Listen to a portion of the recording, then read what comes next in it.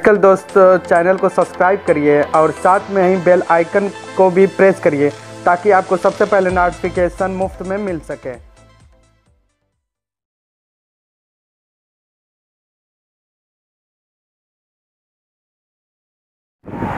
Hello friend मैं हूँ आपका मेडिकल दोस्त और मेरे इस मेडिकल दोस्त चैनल में आप सब लोगों का बहुत ही स्वागत है। आज हम जंबो टैबलेट का फुल रिव्यू करेंगे। अगर इस जंबो टैबलेट के बारे में टोटल जानकारी चाहते हैं तो प्लीज़ हमारे वीडियो पे लास्ट तक बने रहें। अगर वीडियो अच्छा लगे तो लाइक करिए, शेयर करिए, और प्लीज़ मेरे चैनल को सब्सक्राइब करिए। चलिए वीडियो को स्टार्ट करते हैं। जैसा कि सामने आपको ये छोटा सा चार्ट दिख रहा है, जो कि जम्बो का है, जिसमें निमोस्लाइड एंड पैरासीटामॉल मिला हुआ है, जिसमें नेमोस्लाइड 100 एम है, पैरासीटामॉल 325 एम है, और इसके प्राइस पे हम गौर करेंगे। ये देखिए, ये चौंतीस रुपये का है और ये माइक्रो लैब्स लिमिटेड कंपनी का है, ये जेनरिक मेडिसिन है। इसमें डॉक्टर लोगों का बहुत ही ज़्यादा बचत होता है, यानी कि बहुत ही ज़्यादा बेनिफिट होता है डॉक्टर लोगों को। चलिए इसके यूज़ के बारे में जानते हैं। ये टेन टेबलेट का एक स्ट्रिप आता है। और टेबलेट जो होती है, पिंक कलर की होती है।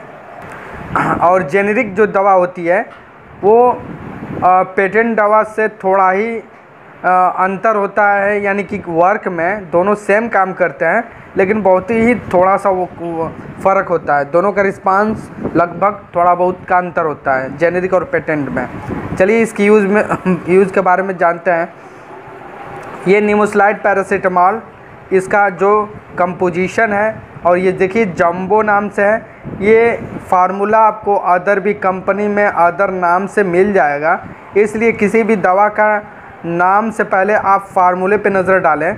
अगर फार्मूला अगर आप याद कर लेते हैं तो एक द, एक फार्मूले के हज़ार नाम से दवा मार्केट में मिलते हैं जो कि हमें आसानी होगा किसी भी दवा को पकड़ने में कि ये दवा किस काम में आएगा और इसके फार्मूले क्या हैं। और भले ही हमें हज़ार कंपनी के नेम से मिले लेकिन हम जान जाएँगे ये दवा किस काम आती है। चलिए इसके यूज़ के बारे में जानते हैं।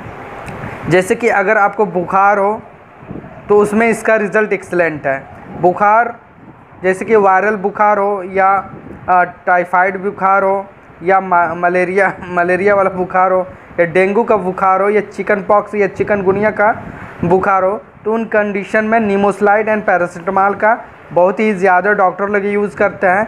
और, जैसे कि मैंने बताया कि बुखार में इस्तेमाल होता है। फिर अगर आपके बॉडी में कहीं भी दर्द हो जैसे कि सर में दर्द हो कान में दर्द हो या गर्दन में दर्द हो या आँखों में दर्द हो या पैरों में दर्द हो या हथेली हथेली में दर्द हो या पैर के एड़ी में दर्द हो यानी कि पीठ में दर्द हो या आपके पीठ के रीढ़ की हड्डी में दर्द हो यानी कि बॉडी के किसी भी पार्ट में दर्द हो तो इसका रिज़ल्ट एक्सलेंट है दर्द को ख़त्म करने के लिए और ये आ, एक जगह और भी इस्तेमाल होता है जैसे कि अगर आपके शरीर में कहीं भी सूजन हो जाए किसी चोट के लगने की वजह से या आ, किसी चोट के लगने से सूजन हो जाए या किसी अन्य प्रॉब्लम से सूजन हो जाए तो उसको भी दूर करने में निमोस्लाइड और पैरासीटामॉल का एक्सलेंट रोल है। और इसका जो डोज़ है एडल्ट में वन गोली सुबह शाम खाना खाने के बाद ले सकते हैं। और चाइल्ड में यानी कि जो बच्चे पाँच साल से ऊपर के हैं, उन्हें आधी गोली दिन भर में दो बार दे सकते हैं। और इसके साइड इफ़ेक्ट भी हैं, क्योंकि इसमें पैरासीटामॉल मिला हुआ है, जो कि पैरासीटामॉल हमारे लीवर के लिए बहुत ही नुकसानदायक होता है।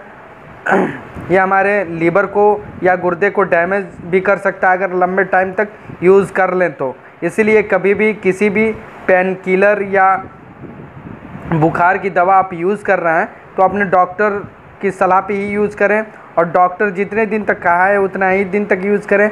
अपने मन से ज़्यादा दिन तक यूज़ ना करें और और भी इसके साइड इफ़ेक्ट हैं जैसे कि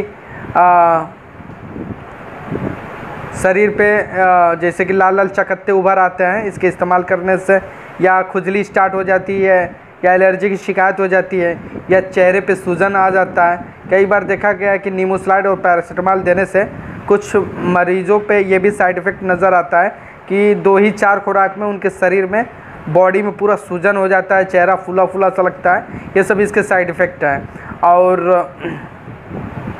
इसको हम 10 से 15 दिन या 20 दिन तक यूज़ कर सकते हैं, बट उससे ज़्यादा यूज़ ना करें, अपने डॉक्टर की सलाह पे, सलाह लेके ही यूज़ करें। अगर आपको टाइफाइड वगैरह है तो आप किसी एंटीबायोटिक को साथ में जोड़ सकते हैं और साथ में ये जम्बो यानी कि नीमोसलाइड एंड पैरासीटामॉल टेबलेट ले सकते हैं। तो आपका जो फीवर है, बिल्कुल सही हो जाएगा, दो ही चार खुराक में। और मतलब कि इस तरह के साइड इफ़ेक्ट दिखे गए हैं। एलर्जी की शिकायत होती है, खुजली की शिकायत होती है लाल लाल चकत्ते वगैरह पड़ आते हैं या चेहरे पे सूजन वगैरह हो जाती है, ये सब नॉर्मली साइड इफ़ेक्ट हैं। अगर इस तरह के साइड इफ़ेक्ट दिखे तो अपने डॉक्टर से ज़रूर कंसल्ट कर लें और अपने साइड इफ़ेक्ट के बारे में बताएँ। और ये जम्बो टैबलेट का रिव्यू कैसा लगा हमें कमेंट में ज़रूर बताएँ। वीडियो देखने के लिए धन्यवाद।